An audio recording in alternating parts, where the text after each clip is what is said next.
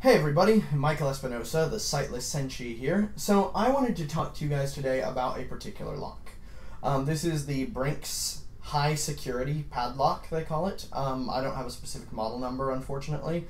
Um, it's just a basic padlock with some, like, uh, little flourishes on it. It's got the bumper and the little design there. The, the, that can all come off. It's just plastic that's just uh, fit on there by friction. Um, anyway, what I wanted to talk about was a serious security flaw in this lock. Now, when we talk about lock picking, a lot of the times we're quick to dismiss lock picking as a viable threat against uh, against locks, and that's totally fair because to you know to a reasonable degree it is. Thieves don't lock pick. Thieves do, however, learn easy bypasses that don't require much finesse, and this Brinks being an unshielded lock is very vulnerable to that. Um, by by shielded, I'm not talking about like shielding on the shackle. I'm referring to the back of the keyway being completely open. That is, it goes to it, it allows access to the locking mechanism, which means all I would have to do is take a tool like this uh, this Sparrow's uh, Octo Rake tool. Love this thing. Um, and uh, go in here and basically just uh, go up and down, and now I can't do it all of a sudden. There we go.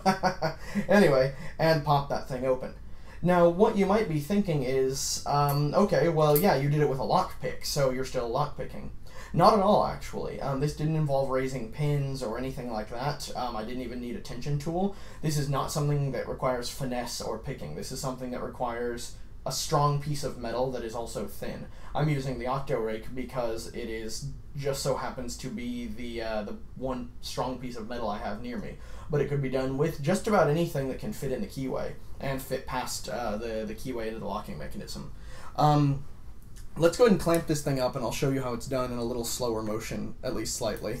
Um, let's see. So I'll get that clamped up on the body of the lock there, so we can uh, have easy access to that. Go on, hold it still. There we go.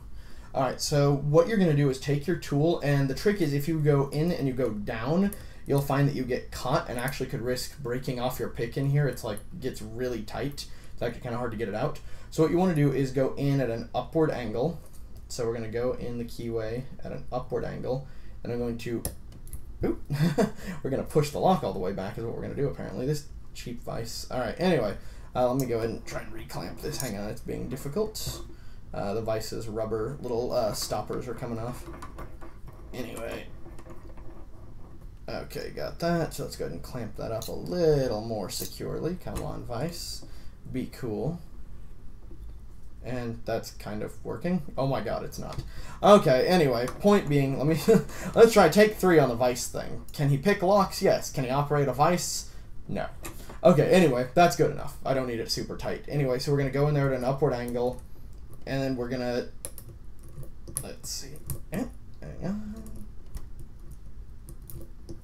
Goodness gracious. Okay, you know what? The vice is getting in the way. Forget the vice. Let's just do this by hand.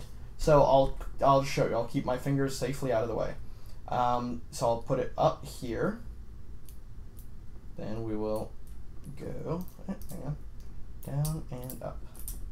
And of course, now it's not doing it again. What is with you, lock? There we go. So it's a pretty easy uh, trick if you don't get camera shy and suddenly fail to be able to do it.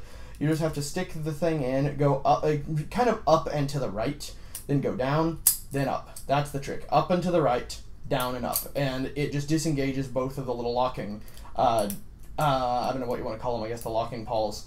Um, I don't quite know the mechanics of this thing, but it's it's just too easy to do. I mean, yeah, you saw me fail at it a couple times while trying to show you to do it, like for example right now.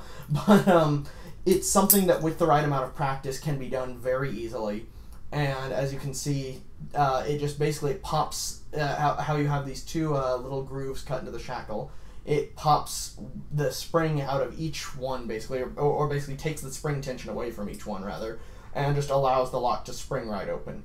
It doesn't require any finesse, doesn't require any skill really. It requires a little bit of practice to get it right, but that's about it. Um, and that I think is a legitimate security concern. So lock picking aside, if you're considering buying one of these for security reasons and you're dismissing lock picking, that's fine.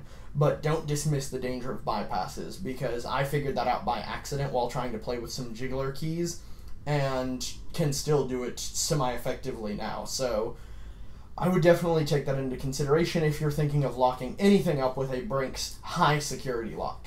Alright, thank you guys for watching. I will uh, see you next time.